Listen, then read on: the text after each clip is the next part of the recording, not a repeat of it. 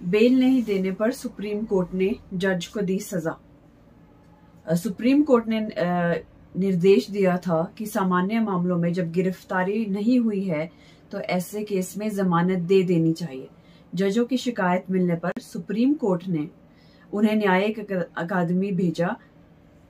Supreme court ने मंगलवार को इलाहाबाद हाई कोर्ट से कहा कि एक सेशन जज से न्यायिक ज़िम्मेदारी वाप, वापस ले ली जाए और उन्हें अब में सुधार करने के लिए न्यायिक अकादमी भेज दिया जाए।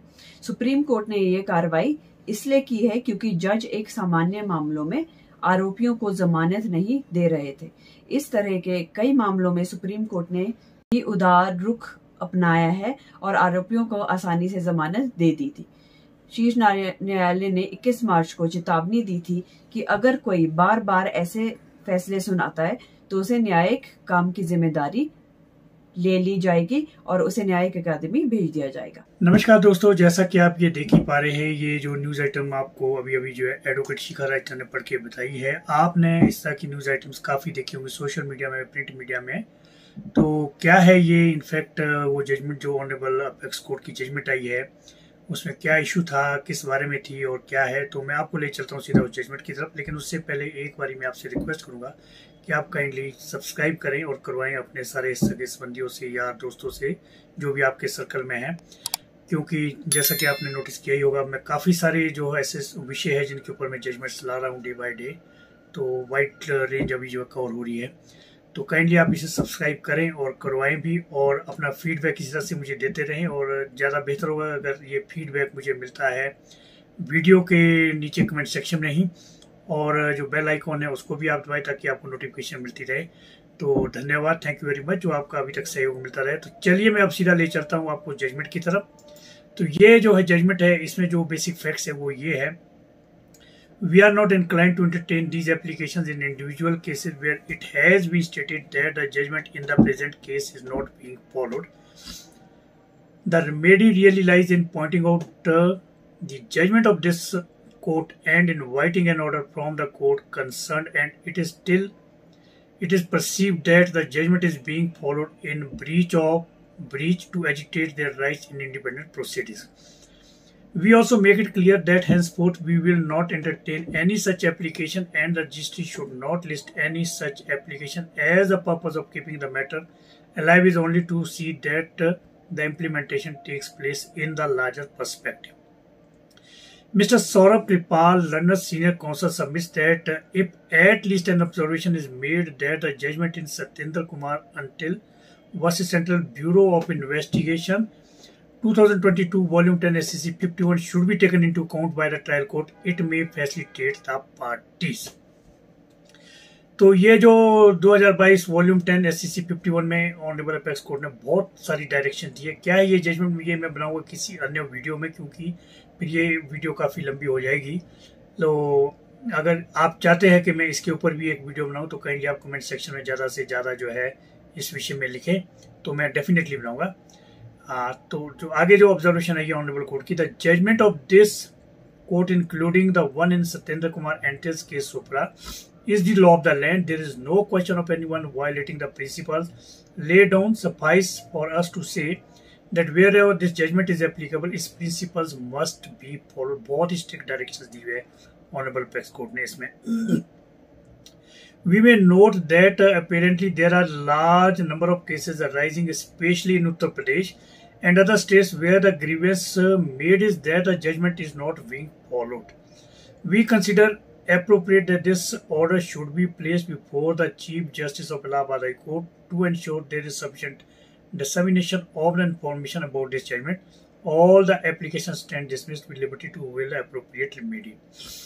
फिर इसमें जो है कंप्लाइंसेज बाय हाई कोर्ट के कोर्स के बारे में इसमें नोट किया गया है, जो पहले की जजमेंट जो स्वतंत्र वाली है, जो ऊपर मैंने 2022 वॉल्यूम टेन का जो रेफरेंस दिया है, उसकी कंप्लाइंस वगैरह मांगी थी, जो उसमें डायरेक्शन दी है तो ये कंप्लाइंस रिपोर्ट वगैरह के बारे में फिर जो फर्दर ऑब्जर्वेशन जो ऑनरेबल पेक्स कोर्ट ने किए, जो कि स्पेसिफिकली इस न्यूज़ आइटम से रिलेटेड है, वो मैं अब आपके सामने लाने वाला हूँ One of the orders pointed out is of the Session Judge Lucknow in bail application number so and so, under section 438 CRPC यानी कि जो लॉयर्स है प्रैक्टिसिंग लॉयर्स उनको मालूम ही है केस अंडर सेक्शन 430 सीआरपीसी जो एक एंटीसिपेटरी बेल होती है, जो कि कॉमनली हर एक आदमी को पता होती है। Number so and so dated twenty six April 2023 I even after the order passed by us on 21st March 2023 the order जेक्स an anticipatory bail application in a matter of matrimonial dispute where it was alleged that there was an assault on the complainant and various family members were sought to be roped in, which included the husband, brother-in-law, mother-in-law, and father-in-law. It was stated before the court that the accused applicants were not arrested during the investigation and now charge sheet has been filed. The statement of the public prosecutor is also recorded that uh, the offences labelled are punishable with less than seven years of imprisonment. Thereafter, the order notes uh, the 2021 judgment of this court. Despite this, the anticipatory bail application is rejected. Qua all the applications while uh, recording, since ample safeguard is given, situation is already available to the accused applicant. Therefore, no ground exists for grant of anticipatory bail. We have thus specifically brought uh, this order to the notice of the Learner Council for the Allahabad High Court as an illustration where despite all directions much leaves to be desired. Certainly the learned judge concerned meets the parameters for upgradation of his skills in a judicial academy and the needful be done by the High Court. तो ये जो है एक जो है observation जो है बड़ी strict observation honourable apex court ने कही है इसी मतलब तो यहाँ पे जो है उनको जुडिशियल अकेडमी में उन जज साहब को जो है भेजने के लिए, दोबारा ट्रेनिंग करने के लिए, उनकी स्किल्स को अपग्रेड करने के लिए जो है ऑनरेबल सुप्रीम कोर्ट ने कहा है the fact that the direction in the case would apply to anticipatory bail cases was initiated in the year in the order dated 21st March 2023 and thus there would not have been any confusion on this aspect. Another illustrative order we may note is in the case of the second uh, anticipatory bail application number so and so in the court of the special judge anti-corruption CBI court number 1 Ghaziabad dated 18 April 2023 which also the high court needs to look into तो ये जो है बहुत strict observation जो है honourable court ने की है इसी कॉन्टेक्स्ट में जैसा कि आप सबको मालूम ही है कि ऑनरेबल पैक्स कोर्ट की कोई भी डायरेक्शन या कोई भी जजमेंट जो है वो लैंड ऑफ़ द लॉ होती है और वो बाइंडिंग होती है सारी सबॉर्डिनेट कोर्स पे भी और ऑनरेबल हाई कोर्स पे भी और उससे कोई भी किसी भी किस्म की डेविएशन नहीं की जा सकती है। तो लेकिन जो यहाँ पे हुई है तो इसीलिए जो है, ये लीस्ट एक्सपेक्ट होता है क्योंकि जुडिशियल ऑफिसर की एक ट्रेनिंग होती है स्पेशली और ये तो एक बेसिक फंडामेंटल जो है पॉइंट है जो सब लॉयर्स को पढ़ाया जाता है कि जो भी ऑनरेबल पैक्स कोर्ट की डायरेक्शन या जजमेंट होती है, वो लैंड ऑफ़ द लॉ होती है। तो चलिए मैं अब आपको रेफरेंस बताता हूँ इस जजमेंट का क्या है वो रेफरेंस लेकिन उससे पहले एक बार फिर मैं आपसे रिक्वेस्ट करूँगा कि काइंडली आप ज़्यादा से ज़्यादा सहयोग देते रहे, अपना सपोर्ट दें in the shape of comments अपने कमेंट्स दें। यदि आप चाहते हैं जो ये 2022 10 में जो जजमेंट है ऑनरेबल पैक्स कोर्ट की, बहुत एक लेंथी जजमेंट है, इस पर एक वीडियो में लाऊँगा। यदि आप चाहते तो आप कमेंट सेक्शन में ज़रूर लिखें, और इवन के ट्वेंटी फ़र्स्ट मार्च टू की भी जो डायरेक्शन है, इसके ऊपर भी मैं एक वीडियो बनाऊँगा, ताकि आपके ये काम आए। तो आप ज़रूर कमेंट्स में दें और ज़्यादा से ज़्यादा शेयर करें सब्सक्राइब करें और करवाएँ और जो बेल आइकन है वो भी दबाएँ ताकि आप लोगों को जैसे मेरी कोई न्यू वीडियो आती है, उसकी नोटिफिकेशन आती है ताकि आप लोग इस चीज़ से वंचित ना रहें।